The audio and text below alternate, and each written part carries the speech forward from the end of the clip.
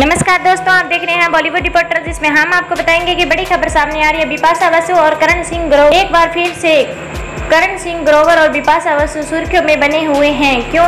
आपको बताते हैं। दोनों ही एक्ट्रेस अपनी रोमांटिक फ़ोटो और फिटनेस को लेकर काफ़ी लाइमलाइट में बने रहते हैं।